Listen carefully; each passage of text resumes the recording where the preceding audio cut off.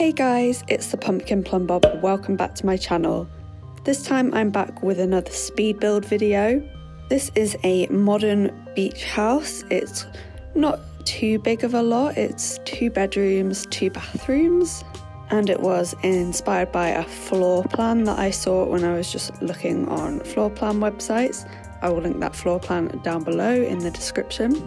This build uses a lot of custom content. I'm working on getting a list for you for the custom content, but my tray importer is having a few issues at the moment because I use the Sims Resource Custom Content Manager to download a lot of my CC, and the tray importer just struggles to find that. But I will get that up on my blog as soon as possible, and when I do, I will link that down below in the description.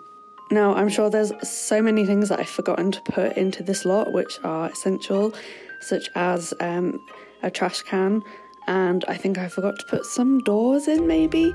And I definitely forgot to go and change all the lights on the first floor from the standard lights that I use when I'm building to some nicer lights. But either way, I do hope that you like this house. Let me know your thoughts on it down below in the comments and what you would have done differently. If you like this video, make sure to thumbs up and subscribe. And if you do enjoy my content, make sure to hit that bell button so you're getting notified when I post. So thanks so much for watching, hope you enjoy, and I'll catch you in the next one.